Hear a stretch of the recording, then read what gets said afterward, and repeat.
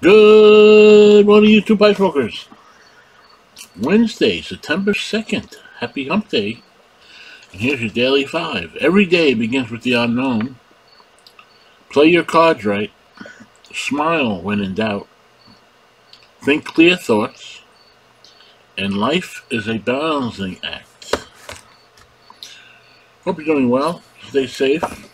And I'll catch you on the next one. Thank you.